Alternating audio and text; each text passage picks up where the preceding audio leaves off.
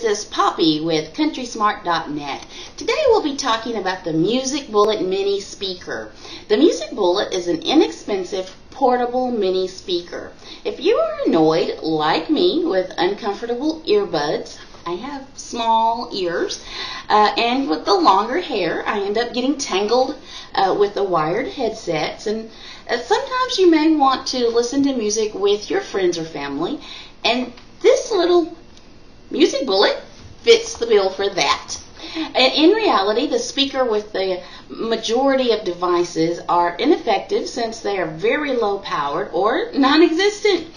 This device is small, portable, and rechargeable and is a more powerful speaker than most devices. I got the music bullet for my birthday from my husband.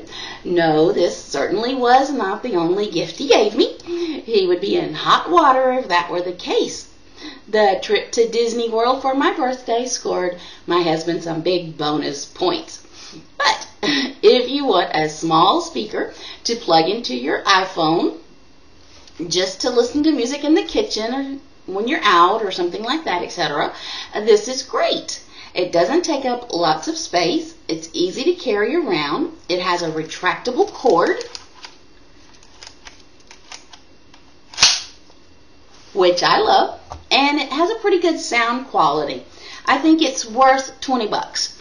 The Music Bullet does claim more than it offers. But this is an as seen on TV item. What do you expect? But I've enjoyed it.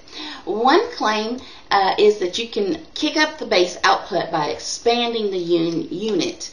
Uh, I personally uh, don't see, it has a little place where you can take it up. I don't see a, a, big difference in the sound quality. It's not an enormous sound, but it does function great with any device, from MP3 players to computers. I can see it would be great for the beach, the office, park, a picnic, uh, at work if you you know you don't want to uh, be loud or noisy or anything to disturb people. Uh, on the street even if you were just going to be uh, at the uh, sitting at a park bench or something. Uh, the Music Bullet is is nicely portable and it has the ability of making the sound of your music louder but well balanced. With the Music Bullet, I can listen to music with uh, in a much more enjoyable way, and it's adequate for any non-discriminating ear. Several devices are now made by highly recognized companies in order for people to feel the satisfaction of listening to their favorite music. Some are really bad quality, and on the other side, some are very expensive. For me, the Music Bullet doesn't make me feel that I got ripped off in relation to its functionality, effectiveness, and cost. You can attach it in any music player that you have. It's very versatile. It also has rechargeable batteries. You can take it anywhere you want. You can use it with your uh, iPod, iPad, iPhone, tablets, laptop, MP3, portable computer game systems, or your main desktop computer, uh, and have some decent sound quality.